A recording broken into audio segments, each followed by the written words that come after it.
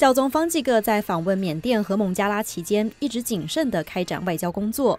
他试图强调，联合国和美国称缅甸罗兴亚人的遭遇是种族清洗这个说法，同时避免使用罗兴亚这个词。国际社会必须采取决定性措施，解决这一重大危机。教宗今年八月向被他称为“我们的罗兴亚兄弟姐妹”的人们表示会与他们团结在一起，但是他星期二在缅甸首都讲话时，只是隐晦的提及，泛泛的呼吁包容少数民族和宗教。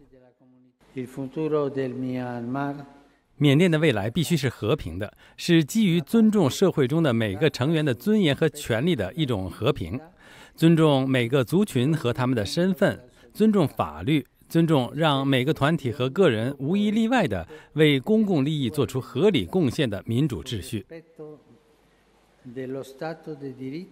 教宗接受了缅甸天主教领袖们的建议，后者担心，如果教宗提到罗兴亚人或直接提及目前的情况，可能会引起缅甸基督徒的反弹。外界对此反应不一。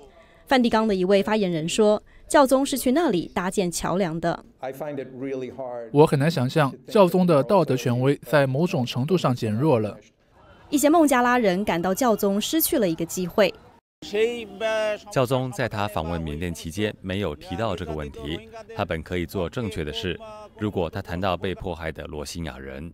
美国参议员杜尔宾先教宗一步访问了缅甸和孟加拉。他对美国之音撰稿人凡苏斯特伦说：“教宗做出了一个艰难的决定。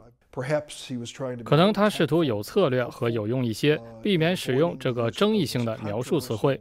如果这一天结束后，那些人能够因为他的到访状况有所改善，那我不会去批评他使用的任何策略。”杜尔宾说：“罗兴亚人在缅甸受到的憎恨的程度，用他的话说，是一位西方人很难理解的。他希望昂山素季作为缅甸实际上的公民领袖能够站出来。他以个人之力能够改变吗？不太可能。他自己没有力量去改变他，但他应该多说一点，多做一点吗？是的，我认为这非常清楚。”诺贝尔和平奖获得者和罗马教宗这两位世界上重要的人权声音，似乎被持续了几个世纪的仇恨消声了。美国之音记者史蒂夫·雷迪什报道。